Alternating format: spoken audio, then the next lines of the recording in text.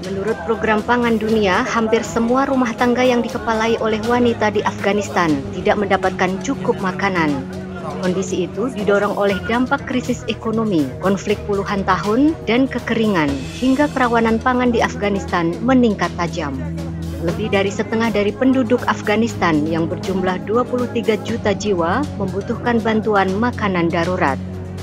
Warga Afghanistan sekarang dipaksa untuk memilih antara kelaparan atau migrasi, dan semakin banyak orang akan memutuskan untuk melarikan diri.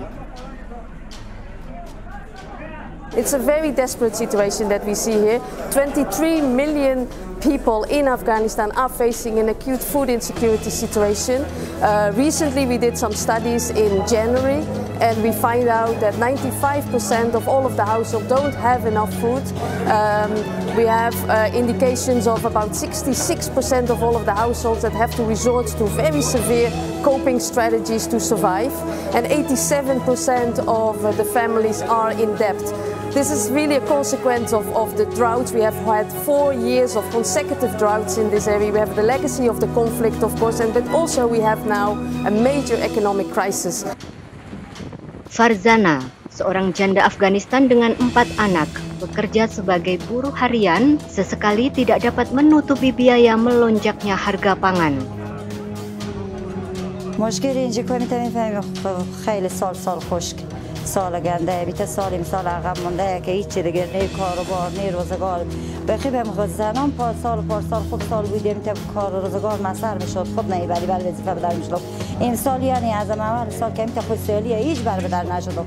کار و بار هیچ نیه روزگار نیته همه به هم سال گنده. وضعیت خانه داری وضعیت بیرون همه انتقیله بدن تشکری می‌کنم از طرف این سازمان ملل که دست اینا داد نکنه. دائم می‌تونه ما و نظر داشته باشن گوشینا به طرف ما باشه Pria, wanita, dan anak-anak yang mengantri untuk mendapatkan bantuan makanan mengatakan bahwa penderitaan kelaparan hari ini bahkan lebih signifikan daripada tantangan yang mereka alami selama hari-hari terburuk konflik.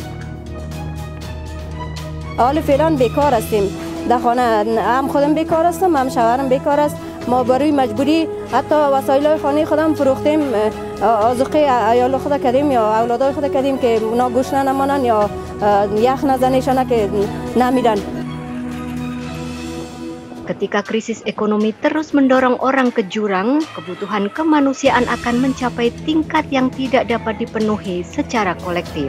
Bagi banyak orang, bantuan program pangan dunia atau WFP adalah penyelamat yang mereka butuhkan untuk bertahan hidup di musim dingin ini.